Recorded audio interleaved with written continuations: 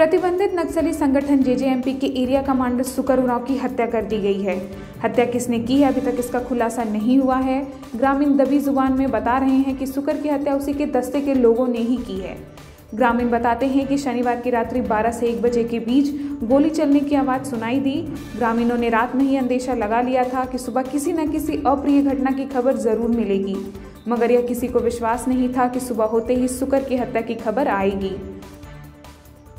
सुकर का शव लावादाव गाँव के धीरू डांट के समीप कंबल में लिपटा हुआ मिला, उसे गोली मारी गई है। साथ ही सुकर जिस हथियार का इस्तेमाल अपने लिए करता था, वह हथियार भी वहाँ से गायब है। यह भी बताया जा रहा है कि कुछ दिनों पूर्व सुकर की किसी से कहासुनी भी हुई थी। हालाँकि हत्या किन कारणों से की गई है, इसकी कोई भी आधिकारिक तौर पर पुष्टि नहीं की गई है। ग्रामीण साफ़ तौर पर कुछ भी कहने से कतरा रहे हैं।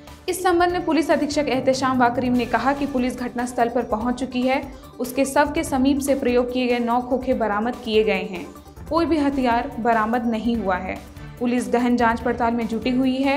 एसपी ने कहा कि जल्द ही हत्या के कारणों का खुलासा किया जाएगा।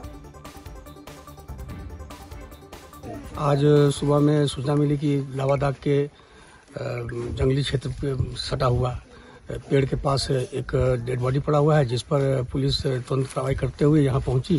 तो यहाँ का देखा गया तो पहचान सुकर उड़ाव जो जेजेएमपी का कमांडर था उसकी गोली मारकर हत्या कर दी गई है। यहाँ से करीब दस खोखा एसएलआर और उनका वगैरह प्राप्त किया गया है। किसने की हत्या ऐसा अभी जाँच की जा रही है कि ये आपस का है या अन्य किसी द्वारा मारा गया है इसका जाँच की जा रही है।